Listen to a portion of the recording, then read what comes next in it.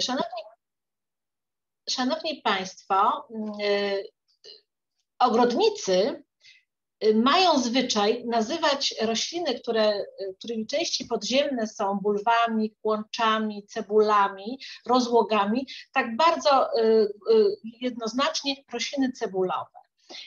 I zapewne wielu z Państwa kojarzy się, kojarzą się rośliny cebulowe z jesienią z jesienią, kiedy jest to taki bardzo tradycyjny termin sadzenia tych, tych cebul y, do gruntu, po to, aby potem wiosną cieszyć się y, pięknymi kwiatami. Proszę Państwa, jest wiele roślin cebulowych, y, które są sadzone nie jesienią, a wiosną.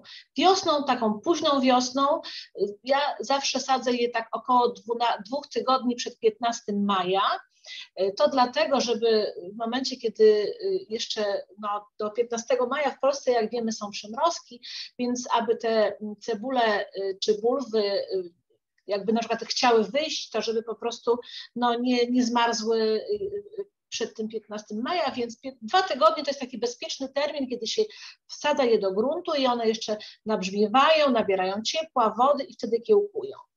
Jakie są to rośliny? To są przede wszystkim rośliny, które są, tak jak tutaj jest w tytule naszego dzisiejszego spotkania, to są królowe lata, ponieważ są to y, rośliny, które sadzimy dość późno, bo sadzimy, tak jak powiedziałam, no, y, w drugiej połowie, w drugiej połowie maja. Nie możemy oczywiście zrobić tego wcześniej, bo, bo po prostu y, cebule mogłyby zmarznąć y, przy wiosennych przymrozkach.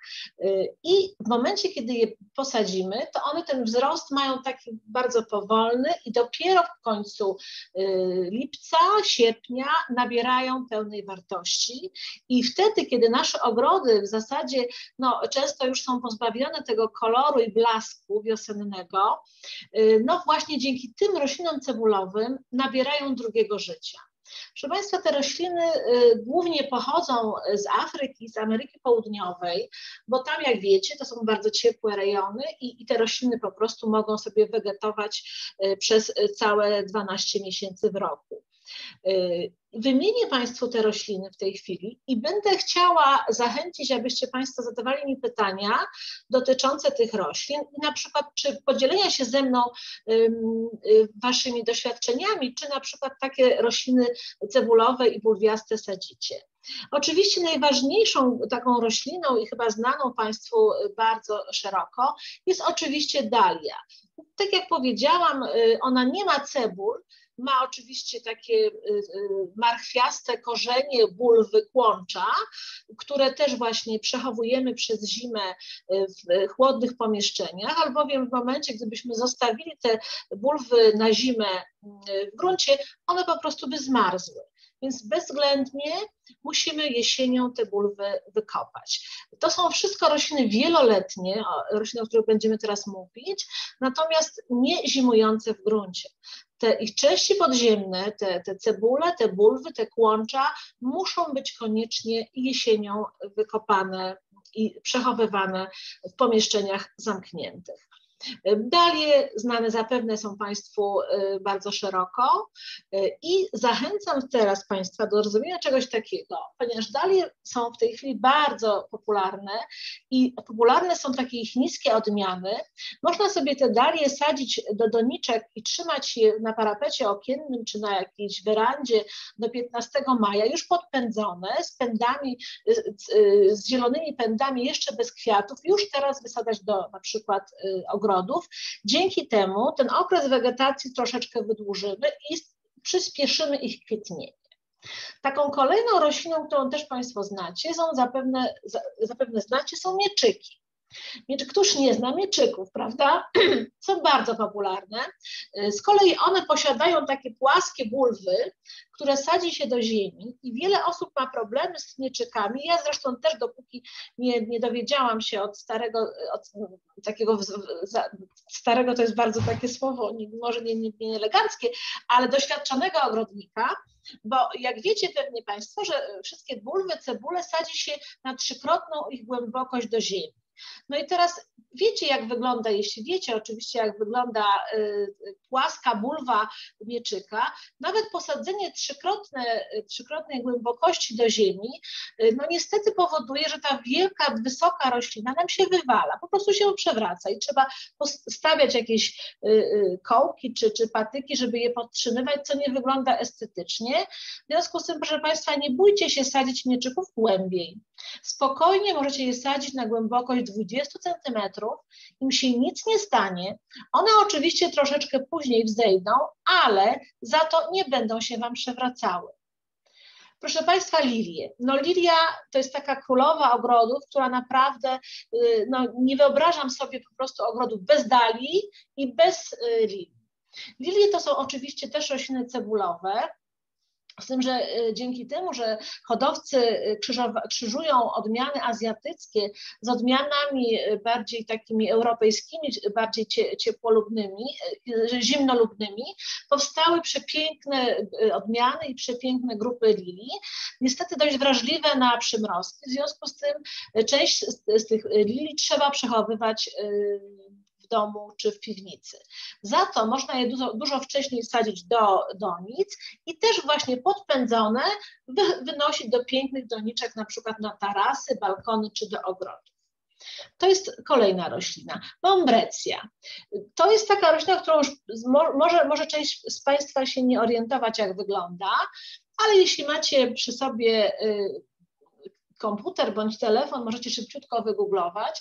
To są takie mm, kwiaty troszeczkę podobne do mieczyków, ale dużo, dużo drobniejsze. Taki kłosowaty kwiatostan w przepięknym cynobrowo-czerwonym kolorze. I to jest roślina, która kwitnie bardzo późnym latem. Kwitnie już w zasadzie od sierpnia do końca września.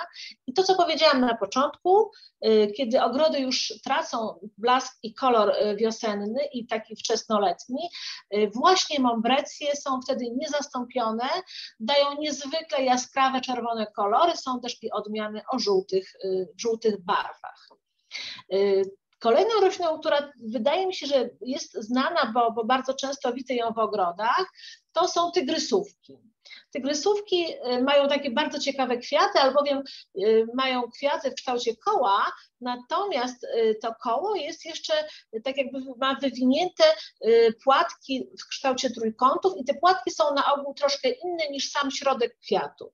Liście mają takie lancetowate, długie mm, i to też są rośliny, które kwitną właśnie od połowy sierpnia y, dekorując nasze, nasze ogrody i właśnie wprowadzając do nich piękny kolor i, taki właśnie blask, a także są pożyteczne dla owadów, ponieważ, tak jak powiedziałam, wiele, wiele roślin już nie kwitnie albo dopiero zbiera się do kwitnienia, tak jak astry czy dzielżany, natomiast te rośliny kwitną cały czas. Jak już zaczną kwitnąć, to tak jak dalie, będą kwitły do końca, y, że tak powiem, no naszego okresu wegetacyjnego, czyli do pierwszych przymrozków.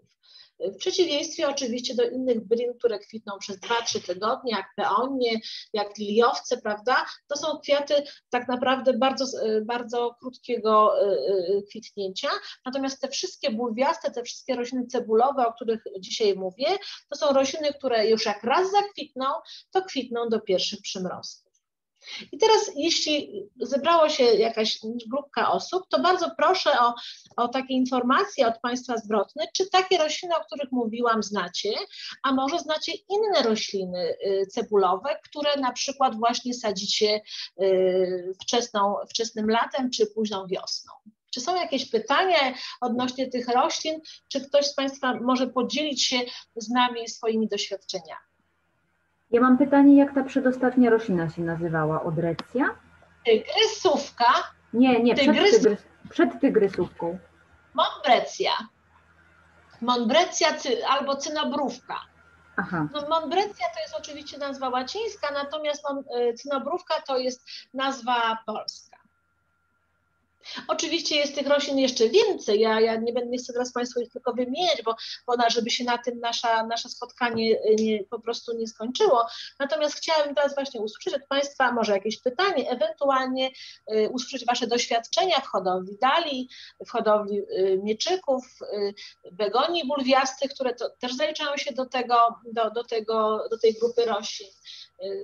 Słucham Państwa. Ja też zachęcam do zadawania pytań, a tymczasem jak jeszcze ich nie widzę na czacie, to chciałabym dopytać e, e, o e, jedną istotną rzecz. Jeżeli mówisz, że właśnie te bulwy przetrzymujemy, tak, wykopujemy, Tak. rozumiem, że jesienią, tak? I chciałabym się zapytać, w jakich warunkach je trzymamy? Y, Po pierwszych przymrozkach, kiedy które w Polsce czasami występują już y, w połowie września, y, wszystkie te rośliny niestety cebulowe po prostu marzną. Marznie ich część nadziemna, ale nie powoduje to zamierania jeszcze części podziemnej, bo to są tylko przymrozki. Wtedy to jest y, już najwyższa pora do tego, aby ściąć tą górną warstwę, tą górną część, wyrzucić ją na kompost i wydobyć z ziemi te bulwy i cebule. I teraz jak je przechowujemy? No bardzo różnie, dlatego, bo na przykład kanny, pacioreczniki, o których tutaj nie wspomniałam, ale zakładam, że Państwo je znacie, yy, też bardzo często y, spotykane w ogrodach, na, na rabatach też miejskich są używane. Y, Kłącza kanien muszą podczas swojego y, odpoczynku letnie, y, zimowego mieć wilgotne podłoże. Nie można ich wykopać tak jak dali, y, czy innych cebul, mieczyków i przechowywać w suchym, chłodnym pomieszczeniu, bo po prostu wyschną. I wiele osób ma taki problem, na przykład kupuje y, kłącza y, kanien czy, czy paciorecznników i one niestety po y, zimie nie odbijają, bo są po prostu ususzone.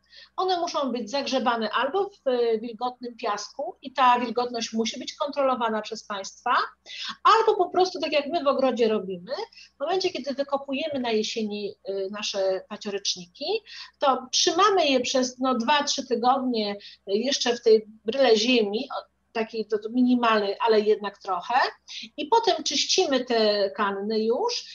Oczywiście no, troszkę je o, musimy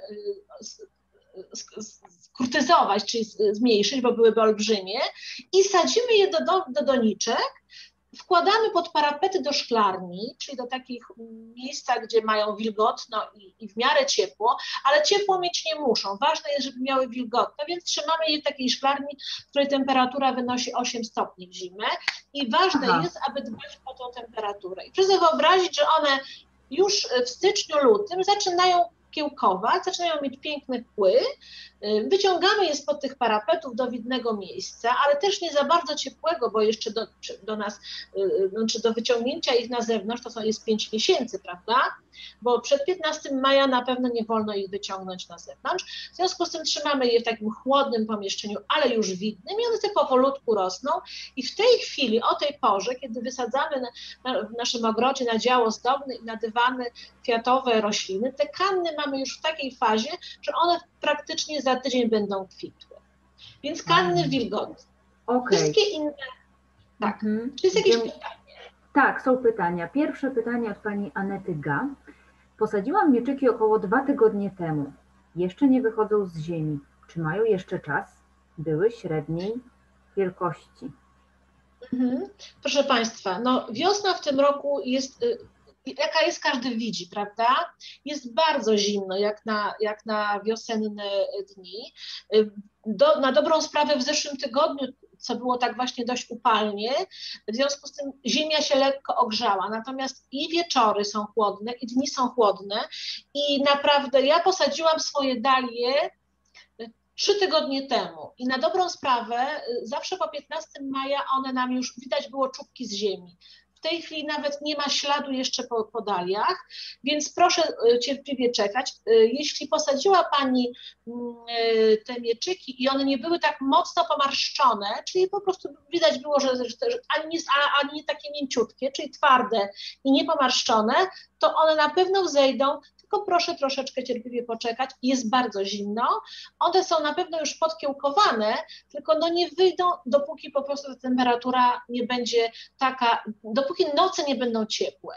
Dopóki w nocy nie będzie tych 12-13 stopni, to niestety rośliny, tak jak powiedziałam, to są rośliny, które pochodzą z Afryki, z Ameryki Południowej, one są po prostu niezwykłymi y, piecuchami. One uwielbiają ciepło, one uwielbiają słońce i dopóki nie będzie tego słońca i ciepła, będą sobie siedziały i powolutku grzebały się z ziemi. A ile mniej więcej tego ciepła potrzebują? Nie wiem, dwa tygodnie? Czy jesteś w stanie tydzień, to określić? Tydzień takiego ciepła, ale znaczy tydzień, no ono musi, bo w zeszłym tygodniu było ciepło, prawda? Ale było też sucho. Teraz znowu się ochłodziło i nawet jeśli one tam te bulwy, bo tak, one najpierw muszą wypuścić korzenie, prawda? Jak sadzimy bulwy mieczyków, to one są bez korzeni. Więc pierwsze, co one muszą zrobić, to muszą wypuścić korzonki. To trwa około tygodnia, mhm. ale tygodnia ciepłego, kiedy nie ma ciepła, więc one odkładają ten czas wypuszczania cebulek, y, y, korzonków, prawda? Dopiero jak wypuszczą korzenie, wypuszczają ten pęd, który będzie zakończony kwiatem. Więc to jest, kolej, to jest następny tydzień, tak? To, to, to są te dwa, około dwóch i pół tygodnia. Ale jeżeli jest zimno, to to się nawet może do miesiąca zamknąć i proszę się nie martwić, że one nie wschodzą, tak? Jest po prostu okay. w tej chwili chłodno. Okej, okay, dziękuję. Yy, tutaj pani Aneta napisała, dziękuję za odpowiedź, jest nadzieja. Jest ogromna nadzieja, absolutnie. Myślę, że jest.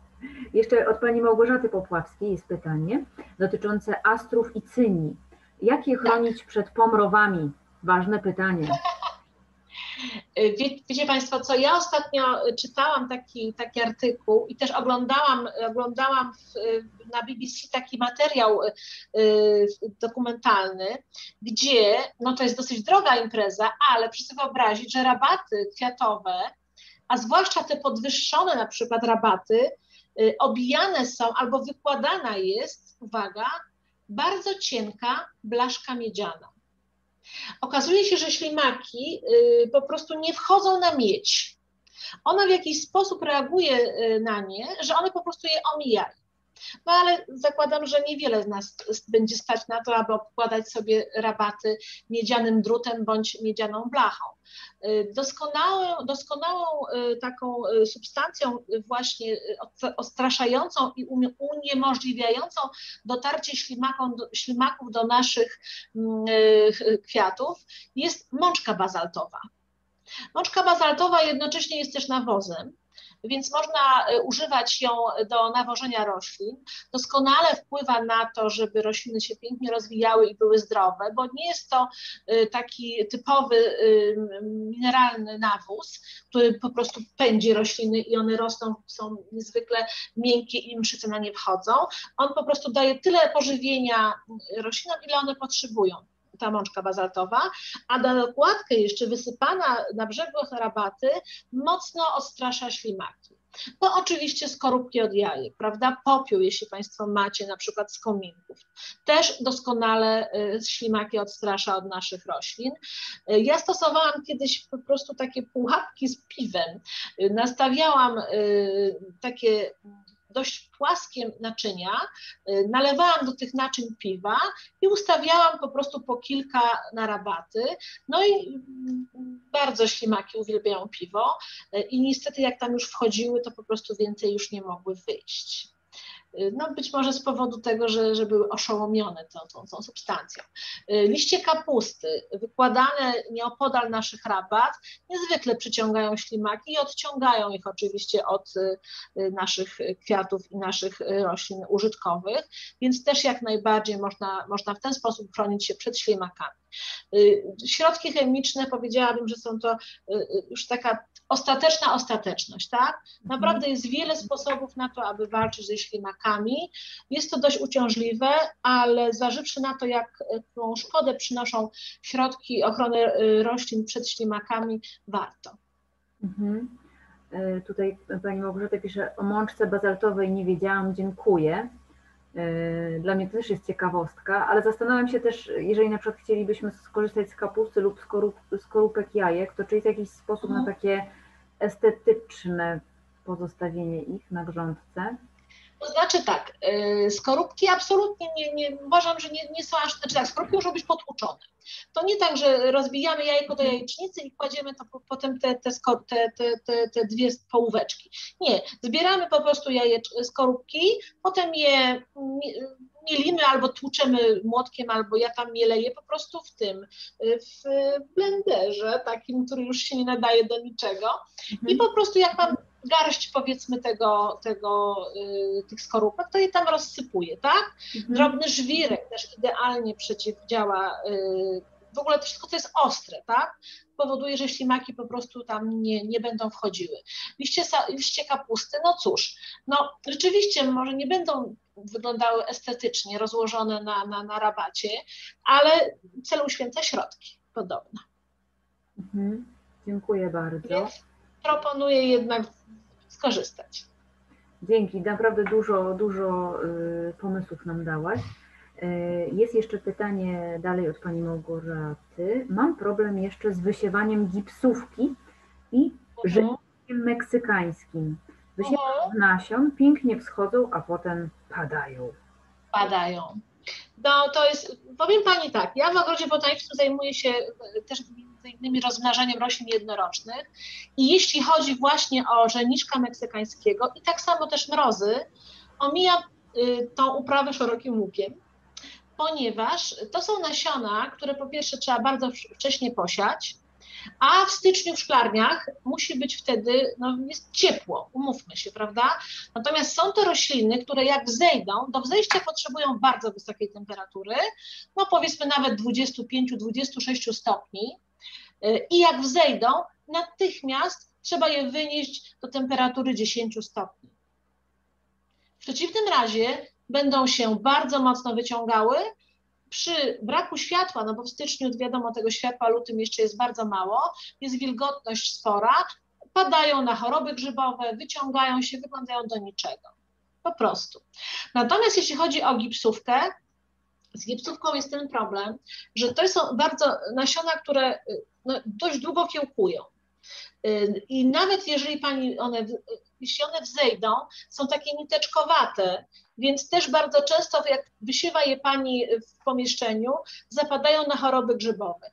Proszę sobie zostawić część nasion gipsówki y, i spróbować ją wysiać teraz nie w domu, tylko po prostu jak ma Pani ogródek, to wysieje ją Pani gdzieś w jakiejś skrzyneczce czy doniczce i traktuje ją Pani po prostu tak, jakby to była roślina posadzona w doniczce i stała na zewnątrz. Wiadomo, że będzie ta doniczka szybciej wysychała, więc dobrze jest postawić taką doniczkę na podstawce z wodą, ale uwaga, uwaga, nie może być tej wody tam za dużo, bo gipsówka nie jest rośliną y, wodolubną.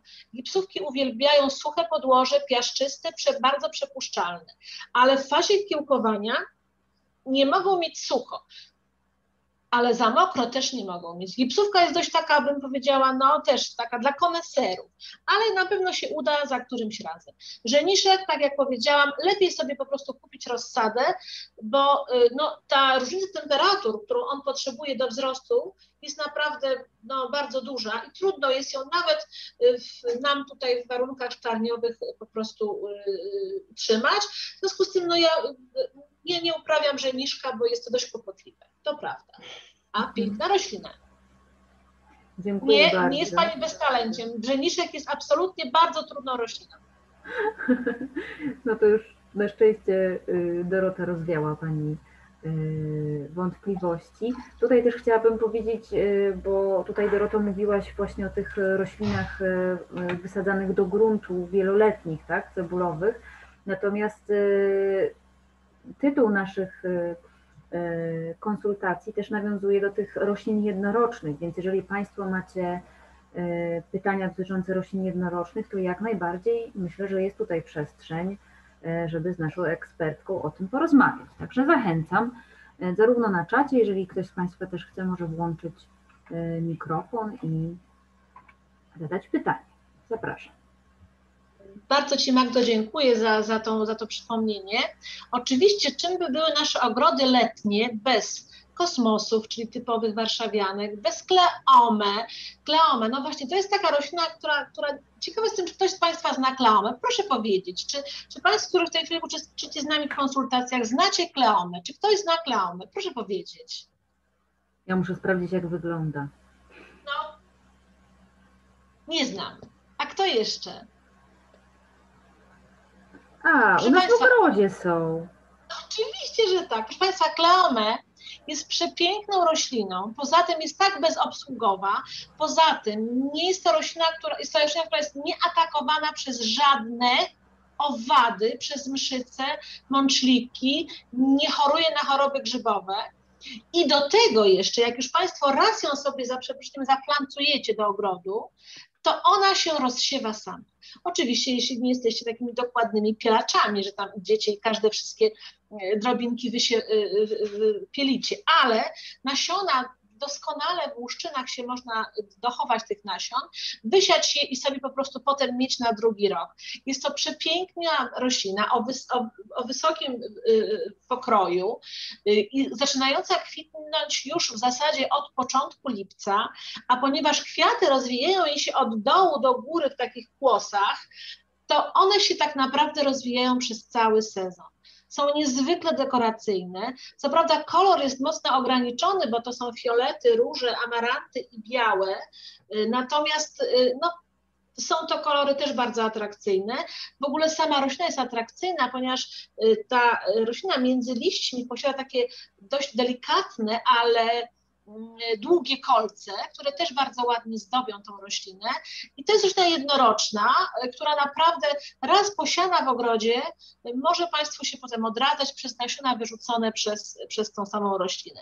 No oczywiście kosmosy, nagietki, y, no, przepie- no astry tutaj Pani już wspomniała. No astry niestety i cynnie to są takie rośliny, które, nie wiem, nie wiem w sumie dlaczego, ale kiedyś po, u mojej babci w ogrodzie cynnie i astry babcia po prostu brała nasiona, szła, wysiewała i one rosły i nie było żadnej mowy o żadnej rozsadzie, o, o, o chorobach grzybowych i one rosły, były piękne. W tej chwili y, dochować się astrów i cynni y, naprawdę powiem szczerze, mnie nie jest prosto, bo jeśli chcę robić to w szklarniach i chcę to robić y, przez, przez rozsady, to one bardzo często zapadają na choroby grzybowe.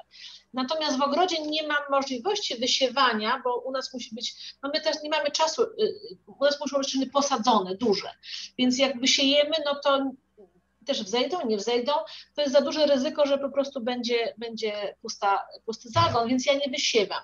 A robienie rozsady astrów i y, cyni jest dość kłopotliwe, bo one też chorują na choroby, zapadają na choroby grzybowe.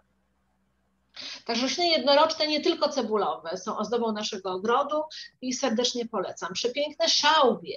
W tej chwili w y, naszych sklepach ogrodniczych naprawdę y, asortyment szałwi jest ogromny. I to nie jest tylko ta taka typowa szałwia, y, salvia splendens, szałwia błyszcząca, czerwona, która to zawsze królowała na, na, na kwietnikach y, miejskich, y, ale ta szałwia też w tej chwili jest w kolorach takich mm, różowych, y, takich amarantowych, bordowych, przepiękne ma też w takim kolorze biało-zielonym kwiaty, także też jest to, to roślina, która, która jest y, niezwykle ciekawa.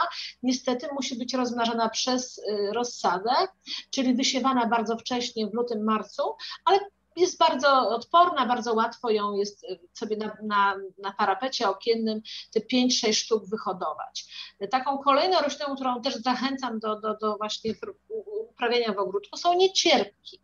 Y, I też bardzo polecam, jeśli Państwo macie na przykład y, y, taką roślinę niecierpka tego dużo, dużego nowogwinejskiego kupionego w sklepie w lato i posadzonego do ogrodu, proszę go nie zostawiać na zimę w ogrodzie, tylko wykopać go z dużą bryłą korzeniową, zabrać go do domu. On w domu będzie sobie tak powolutku rósł i potem na wiosnę można z niego robić sadzonki. Sadzonki się przepięknie ukorzeniają i w ten sposób można mieć swoje y, prywatne, y, przez siebie zrobione rośliny. A propos Także- niecierpków, to warto chyba, że- żeby też, y, żebyś też wspomniała o niecierpku y, tym gruczołowatym, inwazyjnym. No tak, to przed tym się musimy bronić, bo to jest niedzierpek, który niestety, znaczy ja, ja nie widziałam go w handlu, więc nie ma takiego, takiej możliwości, żebyście Państwo to kupili. Aha, Niemniej jednak Nie, nie, nie, nie, nie, tego na pewno nie w handlu się nie kupi, ale niestety czasami kupując podłoże z niewiadomego pochodzenia, można sobie niestety takiego y, taką roślinę do, do, do ogrodu zaflancować. A dlaczego? Dlatego, ponieważ na przykład, czy korę na przykład, jak bierzemy, kupujemy korę z niepewnego miejsca, te niecierpek gruczołowaty czy drobnokwiatowy, to jest roślina, która y, często porasta w lasy. Y, I, I, na przykład kora, y, która jest w lesie, powiedzmy, tam zrobkowana i pobierana z, z drzew, często też zawiera właśnie nasiona tej, te, tego niecierpka.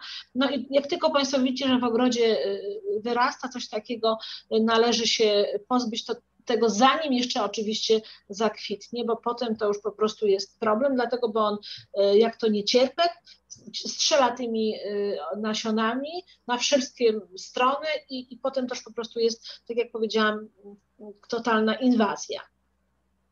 Także niecierpek gruczołowaty absolutnie nie to, to, to, to absolutnie, to to odradzam, tak? Jeśli chodzi jeszcze o lilię, to ja bardzo serdecznie zachęcam Państwa do takiego y, procederu, a mianowicie, bo lilie są w tej chwili w handlu przez cały czas, tak? Y, można kupić cebulę i, i, czasami już są takie z takimi dużymi kłami y, i, i, można po prostu je sobie wsadzić do doniczek. To są nie tylko rośliny gruntowe, to można spokojnie sadzić sobie na balkonie, w doniczce.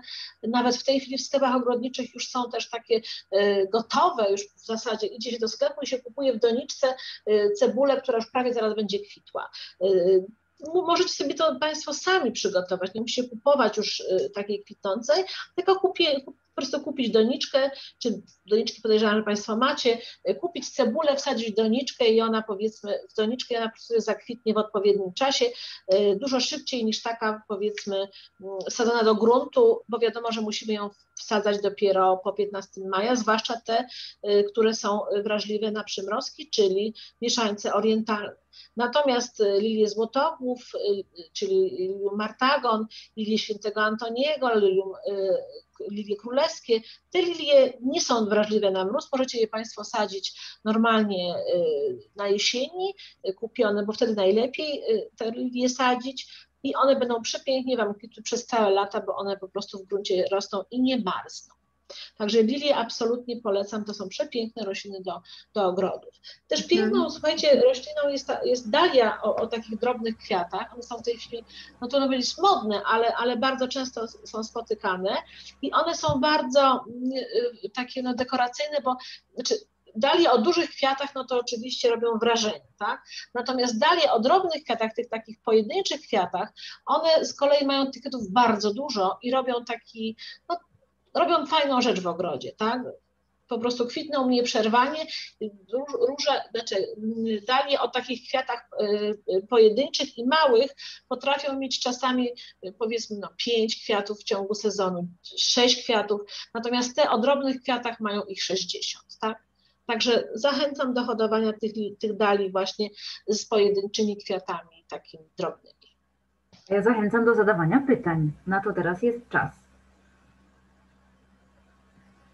Na czacie na przykład. I też chciałabym powiedzieć, że w czerwcu, e, ponieważ już powoli wracamy też do takiej stacjonarnej pracy, e, planujemy też e, zrobić takie konsultacje już w ogrodzie, więc będziecie mogli Państwo zobaczyć rośliny, co będzie na pewno nie lada gratką. Tymczasem, jeżeli Państwo teraz wysiewacie rośliny, chcecie o coś zapytać, to zapraszam. W ogrodzie botanicznym na naszych rabatach y, jednorocznych, no bo mamy cały dział, na którym sadzimy po prostu rośliny sezonowe, Będziecie Państwo mogli niedługo zobaczyć no właśnie y, rosnące dalie, ale też ponieważ co roku staramy się, aby ten asortyment roślin był y, taki właśnie no bardzo interesujący, nowy, nie sadzimy co roku tego samego, no bo jesteśmy między innymi po to, żeby pokazywać Państwu y, możliwości i nowości, y, jakie y, przemysł ogrodniczy nam daje. I proszę Państwa, być może znacie Państwo taką roślinę, która nazywa się gaura. Gaura to są, znaczy ja się zachwyciłam tą rośliną, powiem szczerze, widząc ją w Warszawie w gazonach, w takich donicach dużych betonowych, jak sobie rosła, i, i takie lata, to jest taka warstwa liści najpierw, tak dość jakby rozkrzywiona i potem wyrastające łodygi z takimi albo różowymi kwiatami, albo białymi kwiatami, które przypominają motyle, takie małe motylki. I gaura jest też rośliną niestety niezimującą w gruncie, ale proszę Państwa, doskonale można ją y, przechowywać, czyli wykopać i przenieść sobie do, do jasnego pomieszczenia i mniej więcej tak w marcu, y, jak ona zaczyna odbijać, piękne sadzonki można pobierać i one się nawet ukorzeniają w wodzie. Także zachęcam serdecznie do, do, takiego, do takich eksperymentów. Dzięki temu nasze ogrody będą dużo bardziej bogate, będą różnorodne, a Państwo zapewne będziecie mieli przyjemność z tego, że wyhodowaliście sami sobie jakąś roślinę. Rośliny w tej chwili może no nie są najtańsze, tak jak się Państwo pewnie zorientowaliście, więc y, zachęcam tym bardziej właśnie do kupowania y, nasion, do kupowania roślin, które potem będzie można przechować i wiosną rozmnożyć. Nie wiem na przykład, co Państwo robicie, a może Państwo, którzy są z nami, robicie to samo co ja. Co Państwo robicie z bulwami? Czy, czy znacie begonie bulwiaste? Czy ktoś zna z Państwa? Na pewno. To taka typowa roślina, kiedyś bardzo często zastosowana na cmentarzach. To są takie liście, no jak u begonii, mięsiste, duże, zielone i przepiękne, kolorowe kwiaty. Żółte, pomarańczowe, czerwone, yy, różowe, pełne. Znacie Państwo begonię bulwiastą? Ja sprawdzam, czy ją znam. Bo chcę Państwu powiedzieć, jak łatwo ją sobie samemu rozmnożyć.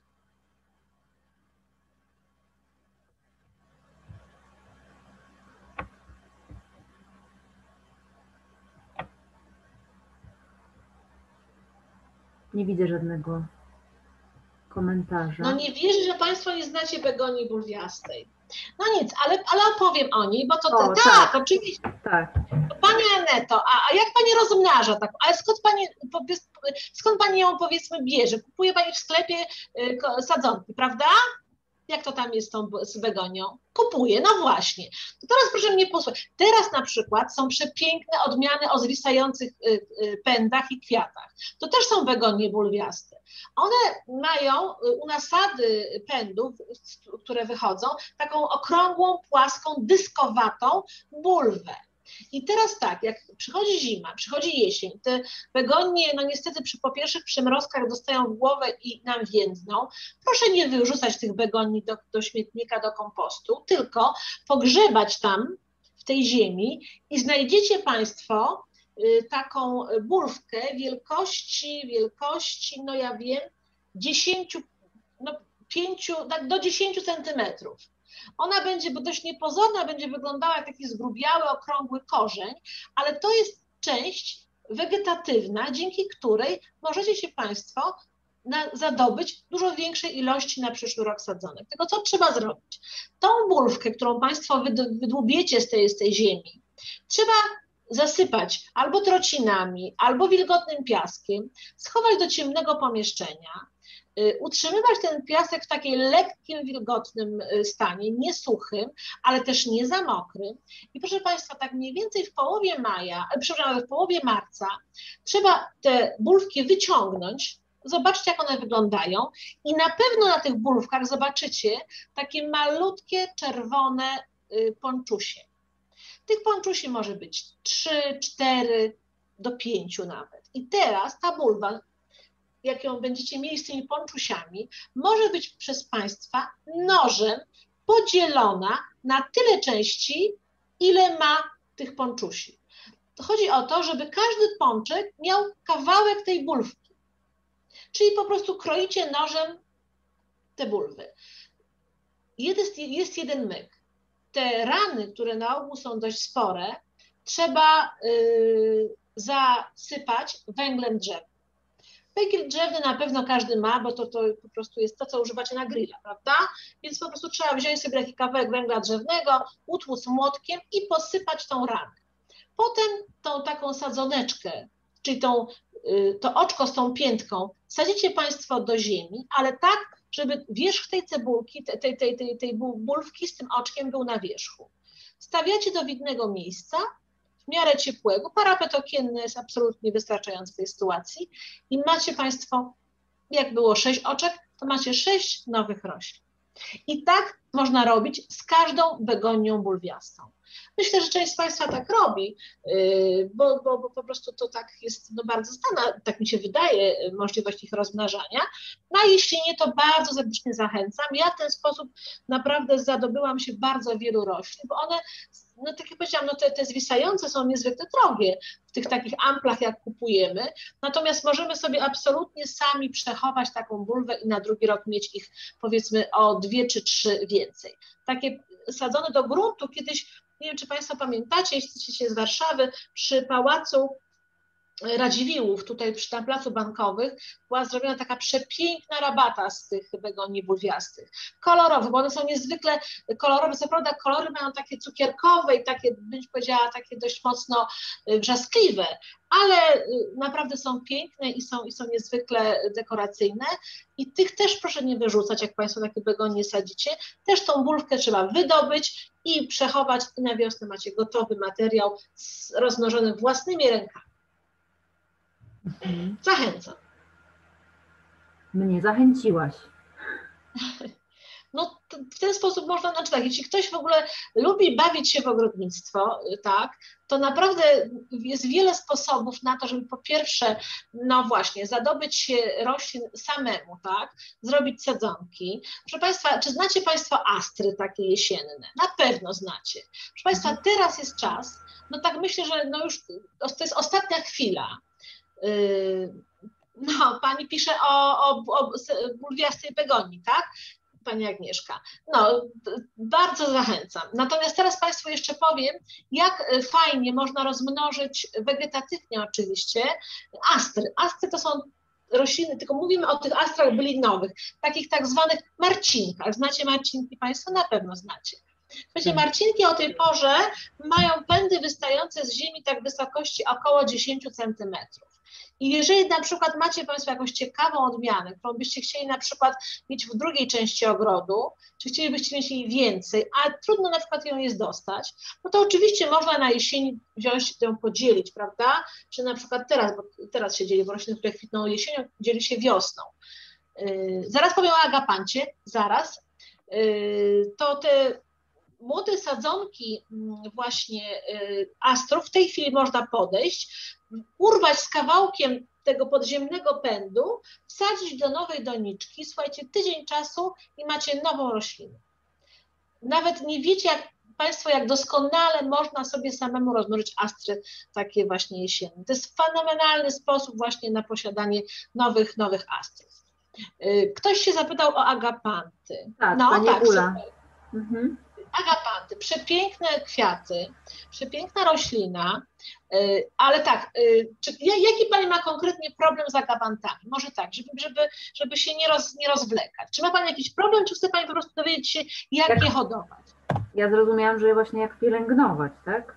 Jak pielęgnować. Więc tak, agapanty przede wszystkim, słuchajcie Państwo, to są rośliny, które kwitną wtedy i kwitną obficie, kiedy mają za ciasne doniczki.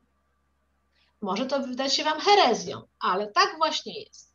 Jeśli na przykład posadzicie swoje agapanty, małe, kupione w sklepie, w jakąś wielką donicę, to będą Wam rosły przepiękne liście. I dopiero wtedy zakwitną, kiedy korzenie tego, tej rośliny po prostu wypełnią w całości tą donicę. No tak one mają po prostu. I wtedy, jak już korzenie prawie wychodzą, słuchajcie, górą, wtedy one wydają najpiękniejsze kwiatostany.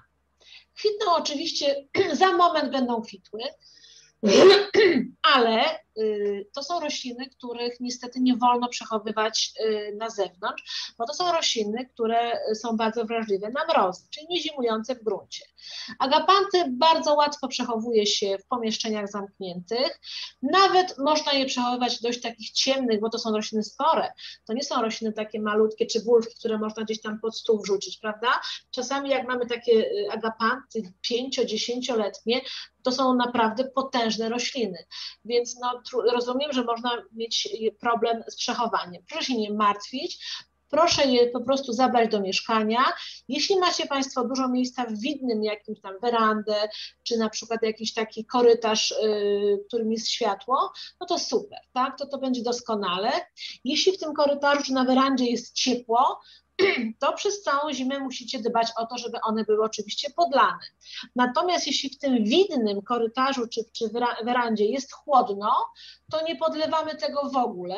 Liście tych agapantów będą zasychały, tak jak cebula. Po prostu zrobią się żółte, w pewnym momencie odpadną i będzie po prostu pusta doniczka. I tak naprawdę byłoby najlepiej dla nich, tak, żeby po prostu te liście zrzuciły, bo te liście też karmią naszą, y, tą, te kłącze, bo mają takie kłącza, korzenie, y, takie grub, grube, takie sznurkowate. I wtedy po prostu jak te liście zaschną, to roślina się nie wysila na produkowanie tych liści, bo tak naprawdę najważniejsze są kwiaty. W związku z tym y, doprowadźcie do tego, żeby te liście zaschły, nie podlewając jej po prostu.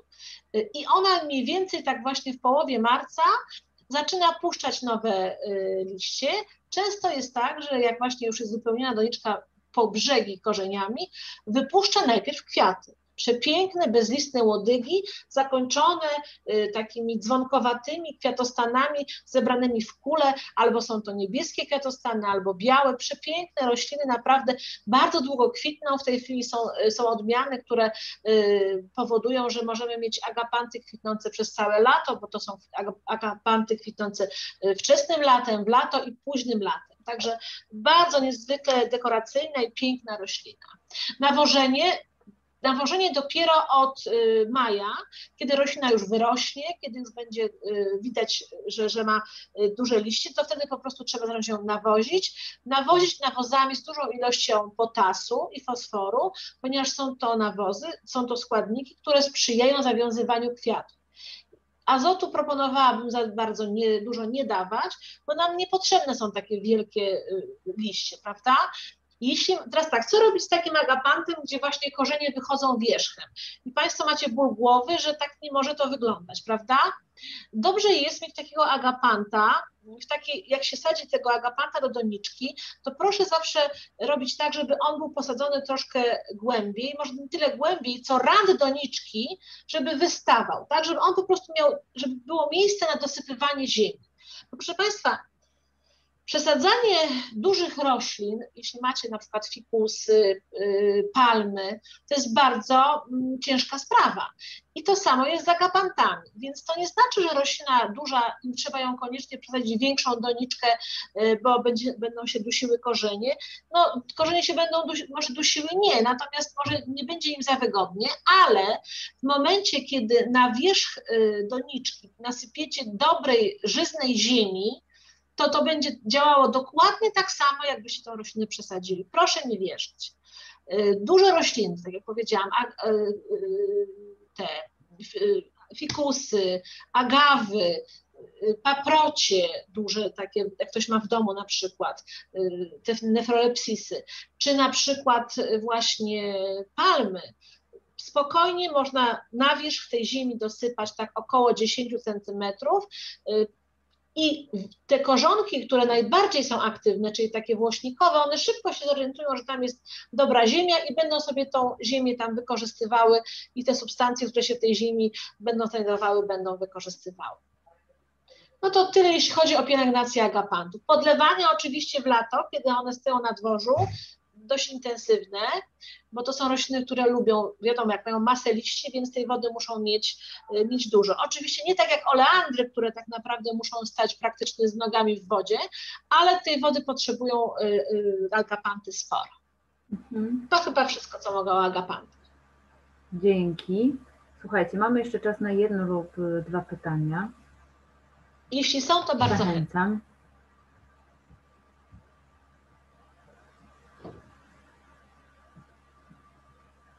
Agapan, za, za wcześnie pani wystawiła, tak? Ale czy on zmarł? Czy, czy na przykład miał już listki? Pytanie do, do, do, do, do właśnie pani, pani która. Czy miał listki? Nie. nie, nie miał. To nie, to nie zmarł. To znaczy, a kiedy pani go wystawiła? Jeszcze takie pytanie.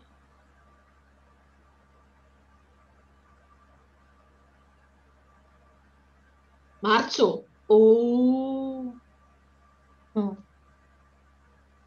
To trochę, to trochę za wcześnie, bo jak Pani kojarzy, w marcu i w kwietniu były takie przymrozki nawet do, do, do minus 5 stopni. To, to były już takie no, porządne, bym powiedziała, przymrozki. I rzeczywiście agapant mógł wtedy zmarznąć. Co może Pani zrobić, jak Pani może sprawdzić? Hmm, bo on nie, bo rozumiem, że w tej chwili nie, nie, nie wypuszcza nic, żadnych listków, prawda? Nie wypuszcza.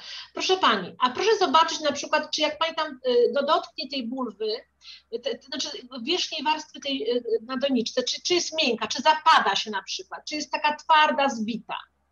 Bo jeżeli jest twarda i zbita, to znaczy, że one być może wierzch tych korzeni troszeczkę przymarzł i one się tam regenerują i zbierają się w sobie, żeby wypuścić, Natomiast y, i wypuszczą, tylko troszkę później, bo są po prostu, dostały w głowę, że tak powiem. Natomiast jeśli dotknie Pani tej wierzchniej warstwy i ono to będzie miękkie, y, wpadnie Pani tam ręka, to znaczy, że one gniją już. Bo generalnie agapan, Dziękuję.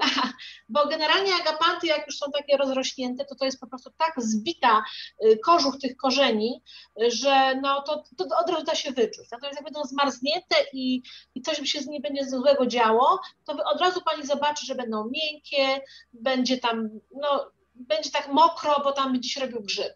I wtedy niestety to już jest do wyrzucenia. To w ten sposób o lawendę. Je, jeszcze pani właśnie Małgorzata Popławska napisała, podziwiam ogrom wiedzy, ja też.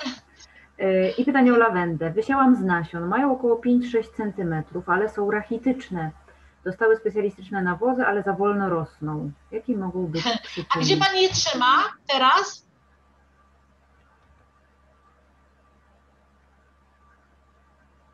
To ważne. Na parapecie. Na parapecie, ale w domu. To natychmiast na dwór. Natychmiast. Lawenda to jest roślina, która uwielbia słońce. I o ile rzeczywiście siewek w marcu to bym nie wystawiła na, na, na, na zewnątrz, ale jak tylko już po 15 maja, kiedy wiadomo, że nie będzie przymrozków, to natychmiast na dwór. Poza tym, jak ma Pani siewki lawendy, i wy, wysiewane, wszystko jedno, to jest nieważne, że jest parapet od południa. La, okno to lawenda w zasadzie powinna rosnąć pod pełnym słońcem.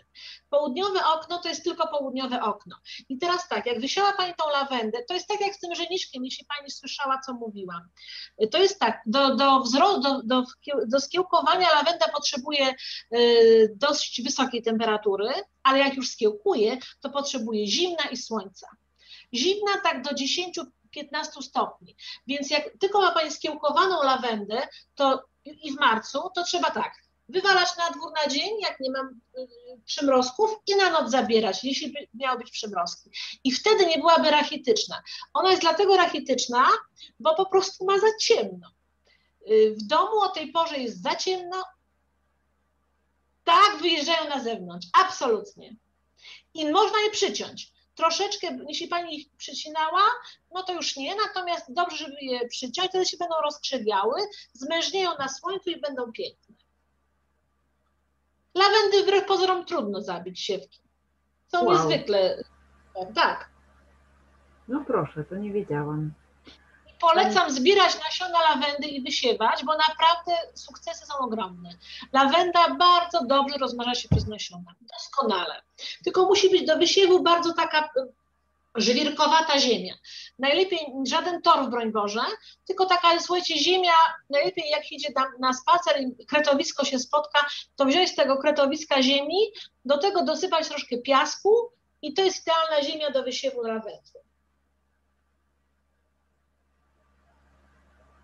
Czy są jakieś pytania jeszcze? Słuchajcie, ostatnie dwie minutki.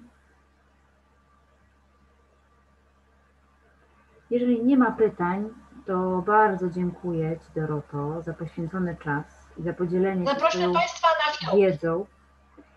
Tak, o godzinie 16 mamy jeszcze y, konsultacje o fiołkach. Będą jeszcze, y, będzie jeszcze dwójka gości y, na naszych konsultacjach. I co jeszcze mogę powiedzieć? Że serdecznie, serdecznie zapraszam, bo będzie tak naprawdę mega dużo, mega dużo informacji. Panie są niezwykle kompetentne.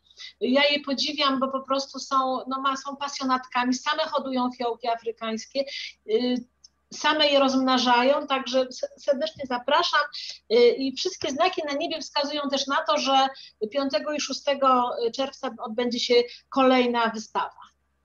Tak, mamy nadzieję, że wrócimy do naszych wystaw, że będziemy się też spotykać na konsultacjach już w ogrodzie, że będziemy mogli oglądać rośliny.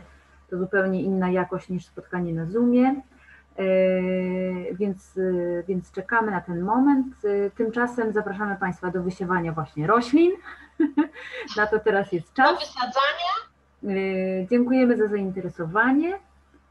fiołki o 16. O 16, tak, tak, tak, była zmiana. Była zmiana. Piołki są o 16. I tutaj ba bardzo, bardzo myślę, że dobrym podsumowaniem naszego spotkania będzie zatem teorię zamieniam w praktykę, biegnę po łopatę. Powodzenia życzę, wszystkiego dobrego. Dziękujemy bardzo.